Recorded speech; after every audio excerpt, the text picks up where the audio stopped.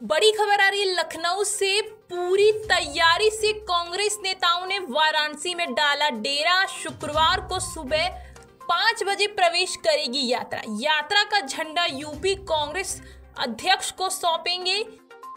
यात्रा का झंडा बिहार के प्रदेश अध्यक्ष सौंपेंगे। सूबे में आठ जनसभाओं को संबोधित करेंगे राहुल गांधी। राहुल की भारत जोड़ो न्याय यात्रा यूपी में सात दिन रहेगी। 22 फरवरी को मध्य प्रदेश में प्रवेश करेगी यात्रा। फिर से बता दें, ये बड़ी खबर आ रही है लखनऊ से। पूरे तैयारी से कांग्रेस नेताओं ने वाराणसी में डाला डेरा। शुक्रवार को सुबह पाँच बजे प्रवेश करेगी यात्रा। बड़ी खबर आ रही है लखनऊ से। India 24 four into seven live TV पर इस वक्त की बड़ी खबर। पूरी तैयारी से कांग्रेस नेताओं ने वाराणसी में डाला डेरा। यात्रा का झंडा यूपी कांग्रेस अध्यक्ष को सौंपेंगे। यात्रा का झंडा बिहार के प्रदेश अध्यक्ष सौंपेंगे। सूबे में आठ जनसभाओं को संबोधित करेंगे राहुल गांधी।